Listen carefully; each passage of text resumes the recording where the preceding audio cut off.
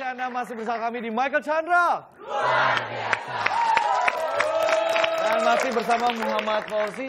Mas tadi bilang uh, mengatakan sempat bahwa bagaimana kita bisa membagikan semangat membaca. Nah, buku-buku yang Mas kumpulkan di perpustakaan maupun yang diedarkan saat berjualan jamu ini didapat dari mana sebenarnya? Kalau buku-buku saya dapatkan pertama awal mulanya ya membeli buku bekas di pasar porong itu uh, dua minggu sekali, satu minggu sekali saya membeli.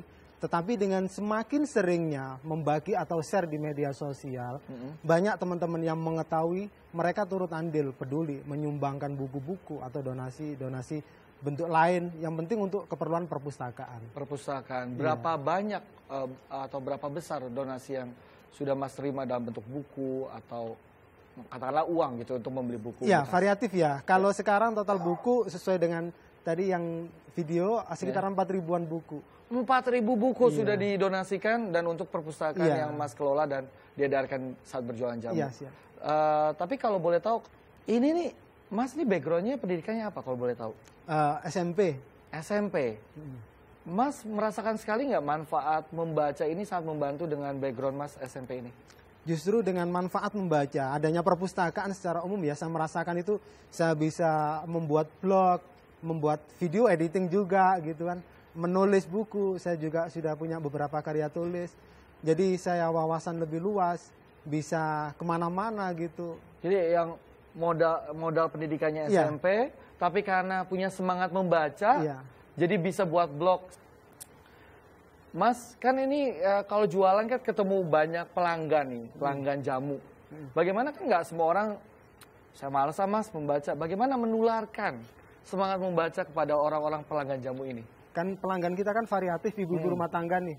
Biasa mereka mengeluhkan tentang penyakit, kalau saya tidak ada jamunya gitu, ini ada bukunya tentang kesehatan gitu kan. Hmm. Ada juga ibu-ibu yang menanya misalkan tentang uh, maaf main gitu kan, datang bulan gitu. Ya, datang bulan. Nah, ini ada solusinya bukunya, silahkan dibaca. Tips rumah tangga harmonis gitu. Wow. ada semua ya. Jadi iya. berapa banyak buku yang dibawa, Mas? Kalau buku yang dibawa sekitaran 80 nyampe 100. Topiknya apa aja? Uh, variatif, umum untuk ibu-ibu segmennya. Ada kesehatan dan lain uh, sebagainya. Agama, motivasi gitu.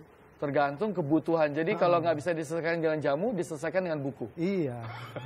Tapi kalau ada yang menyaksikan sekarang, pemirsa ingin juga berpartisipasi kan sama ini lewat medsos. Ya, uh. Kalau ada yang ber, ingin berpartisipasi menyumbangkan buku buat warga di sana atau kan untuk perpustakaan Mas, caranya bagaimana? Uh, klik aja di Google Fauzi Baim pasti langsung mengarah kepada alamat rumah saya. Luar. Ah. Segampang itu ya? Iya. Saya lagi googling Fauzi Baim. Ya silakan ya kalau ada yang mau langsung ke Fauzi Baim ya, ya. langsung alamat, langsung dikirimkan dan semoga bermanfaat ya. ya. Tepuk tangan sekali lagi buat Muhammad Fauzi.